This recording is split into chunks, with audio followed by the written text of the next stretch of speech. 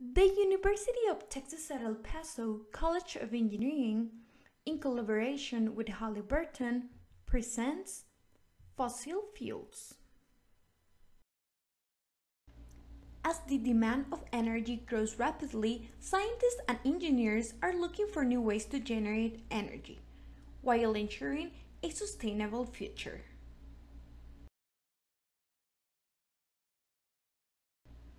Due to the limitations of non-renewable resources such as fossil fuels to generate energy, renewable technologies such as solar energy, wind energy, geothermal energy, and hydraulic energy have been investigated.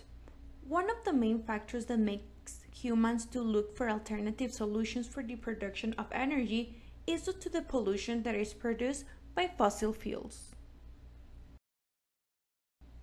Solar energy has become a very attractive alternative to overcome the demand of energy. There have been emerging technologies based on solar energy, such as photovoltaics and solar thermal collectors. Solar thermal collectors are used to capture the sun rays and take the advantage of their energy for other purposes. There are two types of solar collectors, heat collectors and collectors that produce electric energy. Let's start with heat collectors. Heat collectors use the sun rays to heat water or air. The most common use is for buildings or houses, where the demand of heated air or water is excessive for example, laundry facilities. There are two types of heat collectors, flat plate and evacuated tube collectors. Flat plates consist of a thin sheet insulated which will absorb the sun rays. Water circulates in a pipe under the thin sheet where it will be heated by the sun rays. Evacuated tube collectors are composed of multiple evacuated glass tubes, each containing an absorber plate fused to a heat pipe. This heat will be transferred to water or air. Solar collectors for electricity generation use direct solar energy conversion, especially concentrating solar power technologies, CSP. Concentrating solar power technologies use lenses or mirrors to concentrate a huge area of sun rays into a small area where a heat transfer fluid will be heated in order to produce electricity. There are currently four different CSP technologies, parabolic trough, Fresnel reflectors, dish Stirling, and solar tower. Parabolic trough has reflectors which are linear parabolic, the sun rays will be reflected to the focal line of the reflectors, where a pipe will be located and a fluid will be heated.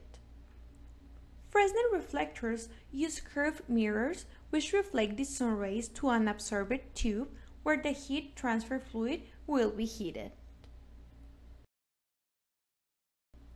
Dish Stirling is a mirror dish that concentrates the sun rays onto a receiver that is located in the focal point of the dish. Solar tower uses reflectors called heliostats which concentrate the sun rays in a solar tower. Parabolic trough is the current most common CSP technology that is used to produce electricity. CSP technologies use power cycles in order to produce electricity. The power cycle most used is the Rankine cycle. Now we will see how a CSP plant works. This cycle uses two fluids. One fluid will be the heat transfer fluid, most of the time is molten salt, which will be heated by the CSP system. The second fluid will be a steam which will drive the turbine to produce electricity. First, the heat transfer fluid will leave the storage tank and will go to a tower that will be heated by the reflection of the sun rays in the heliostats. once the heat transfer fluid has been heated in the tower, it will go to a thermal storage system. The fluid can be used immediately or later. When the fluid is needed, it will leave the storage tank and will go to a heat exchanger where steam will be produced and it will drive the turbine to produce electricity. The heat transfer fluid will exit the heat exchanger and will go back to the storage tank and the process will be repeated. The efficiency that is produced with this cycle is only around 20 to 30 percent.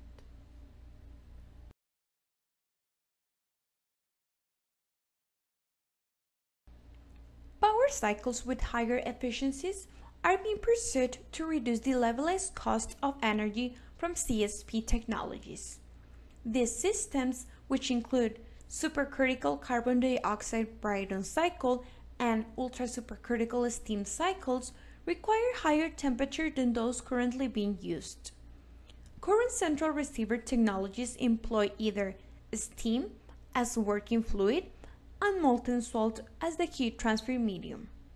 One of the disadvantages of the molten salt is that it cannot reach temperatures higher than 600 Celsius because it becomes chemically unstable and it causes corrosion to the pipes. The supercritical carbon dioxide Brayton cycle is currently being studied because it can reach efficiencies above 50%. Supercritical carbon dioxide can reach really high temperatures and pressures. It is well known that at higher temperatures and pressures, the thermal to electric efficiency will increase. Future work for CSP technologies is to include new power cycles such as supercritical carbon dioxide Brayton cycle in order to increase the efficiency of the system. Thermal energy storage will be added to the high efficiency power cycles in order to supply the demand of energy when the sun is not available. For example, cloudy days or at night. Falling particle systems for solar tower is also future work for CSP. Falling particle system at high temperatures can also produce efficiency of 50% or more in comparison to the current CSP technologies. Large-scale plants will be introduced in order to produce greater efficiency. For example, larger solar tower can range from 250 Celsius to 1000 Celsius, which increases the thermal to electric efficiency. Photovoltaics are another alternative to take advantage of the energy provided by the sun to produce electricity.